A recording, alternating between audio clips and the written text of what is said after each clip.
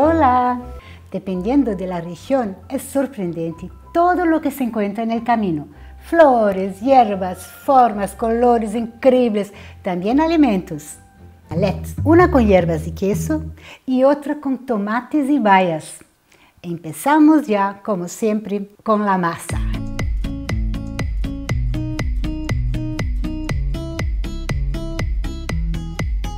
Aquí tengo mi harina integral, ¿sí? Como siempre. Y la vamos a mezclar un poco de sal, algo de azúcar y la mantequilla bien fría, que la corto en pedacitos. Esa masa la vamos a mezclar de la mejor manera, pero sin amasar demasiado, porque si uno amasa demasiado va a quedar un poco más dura, pero igual de rica, claro. Un poco de agua, sobre todo que la mía por ser integral tiene más salvado de trigo, entonces va a necesitar de más líquido. La galette es una especialidad que, bueno, es francesa, pero hay en todo el mundo. Ahora aquí en Alemania está muy de moda, se hace galette de todo. Es muy fácil porque es, tú abres la masa, pones un relleno y cierra un poco el borde, así. Vamos a ver cómo se hace. Ahora está lista aquí mi masa y la llevo para hilar como unos 10 minutos, ¿ok?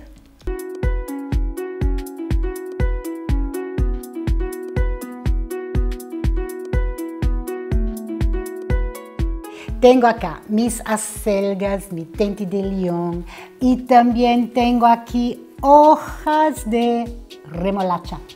Todo eso lo he cogido en el jardín que tengo atrás y también mi jardín aquí cerca de la laguna. También aquí hay ortiga, ¿no? que mucha gente se sorprende, que, no sabe que se puede comer y de eso se puede hacer una torta deliciosa. Bueno, mi padre en la guerra comía mucha ortiga porque no había otros legumbres, ¿no? Y es, tiene muchas vitaminas y es súper antiinflamatorio. Es muy bueno, cuando estoy enferma tomo té de ortiga. Y les quiero mostrar cómo se cuida de la ortiga. Lo más es muy simple, lo ponen aquí en la tabla y vamos a matar toda la cosa que quema, ¿sí? Y luego van a ver que ya no pica tanto, lo sacamos solamente las hojas, principalmente la parte de arriba, que es esta, es la mejor, ¿sí? La parte que siempre está en el sol. Ese es uno. Y el otro, ahora empezamos aquí, porque esas ya están lavadas. Aquí, por ejemplo, la selga, ¿no? Que hay selgas de diferentes colores, todo una maravilla. Dente de león, que está acá. Todo lo que estamos aquí, que tenemos en torno, ¿no? Que tenemos cerca, que está en el paseo, que lo ven, eso lo podemos utilizar, ¿sí? Claro que hay que saber lo que es venenoso y no. Bueno, aquí voy a comenzar a picar. Y lo que va a dar el sabor de cualquier forma será la cebolla, el ajo, los condimentos, el amor, la dedicación, ¿no? Así es, pero no hay que ir al supermercado y comprar espinaca para hacer una torta de verdes, ¿ok? No necesitamos de mucho porque la galette, van a ver, ella es, ella es bien plana. Ahora caliento un poco del aceite. Bueno, la ortiga lo ideal es dejarlo en el agua, ¿no? Dejarlo unos, unos minutos, lavarlo bien, secar y picar. O no picar, yo lo voy a dejar entero porque quiero que se deshace, que se ve bonito. Aquí pongo mi cebolla, ¿sí? Ahora pongo un poco de ajo, el ajo lo voy a rayar para que se distribúa bien, porque tenemos muchos tipos de hojas. Cuando uno raya el ajo hay que envolver, hay que siempre mezclar bien para que no se queme, ¿no?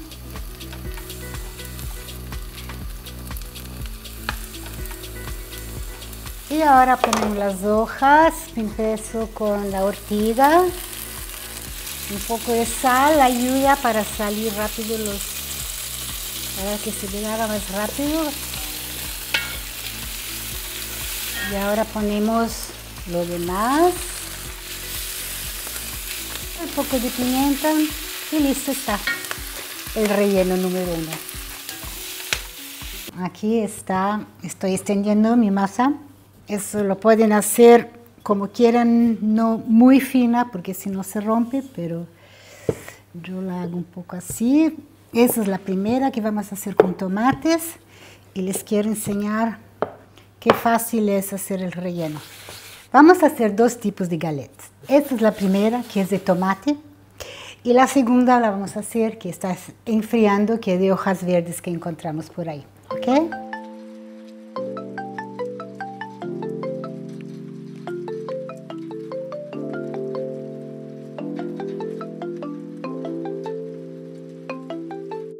Entonces llevo esto ahora.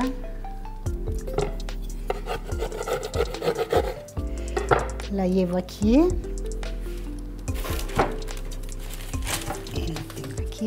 Y quiero mostrar a ustedes cómo voy a hacer el relleno, que debajo de los tomates vamos a poner solamente dos ingredientes, que son dos ingredientes explosivos para el paladar humano, parmesano y ajo. Nada mejor en el mundo que esos dos. Ya saben ahora el secreto de nuestra receta, ¿no? Ahí está, esa la dejo para más tarde un poco. Y ahora el ajo lo voy a poner directo, que es más fácil. Aquí está en la masa y la pongo así directamente y luego pongo el parmesano arriba. ¿okay? Bueno, ahí está. Se puede también, si quieren, hacer una pasta y mezclar el ajo con, con el parmesano. Se puede poner un poquito de agua, ¿no? Pero yo siempre me gusta hacer cosas nuevas y es la primera vez que lo hago así y me parece que va a quedar muy bien. Pongo aquí el parmesano, el queso. ¿No? Abajo está el ajo. Ahora vamos a ver Aquí este tomate tan lindo.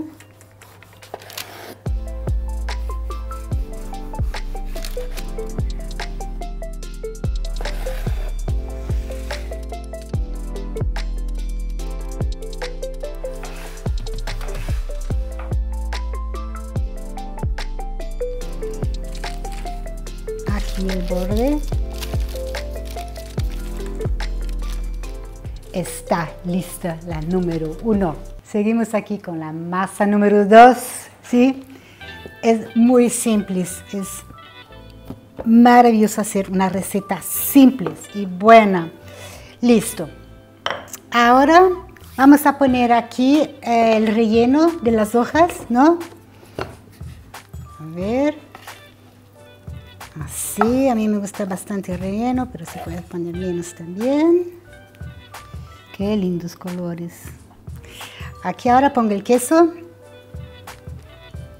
Este queso blanco, nosotros tenemos de la Bulgaria o de Grecia. Este es muy bueno y ustedes tienen también, yo sé, en Sudamérica, quesos frescos fabulosos, mejores de, de oveja o de cabra. Y ahora lo voy a doblar aquí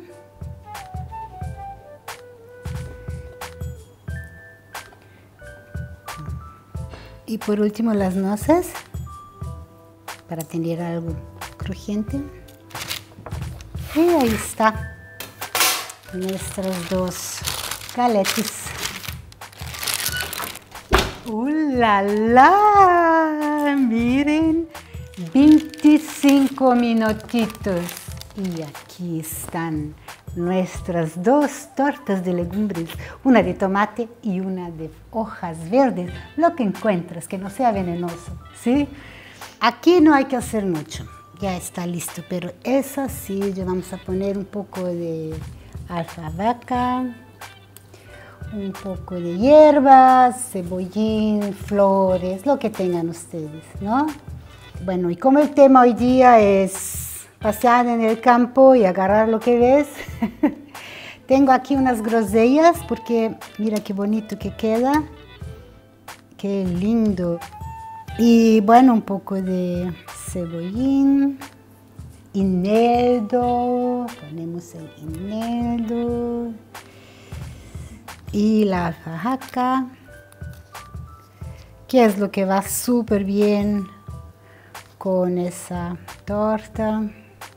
Mis florecitas. Esas flores son flores de canola, no sé si tienen ustedes canola ahí, es tan rico. Tiene un gusto a nueces fabuloso. Lamentablemente, solo tenemos 26 minutos de programa.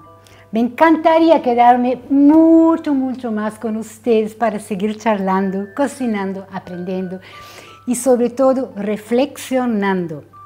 Espero que estos temas les inspiren para hacer de este un mundo mejor. Y como no, intenten en sus casas a cocinar esas galletas. Hasta siempre, hasta chao, no.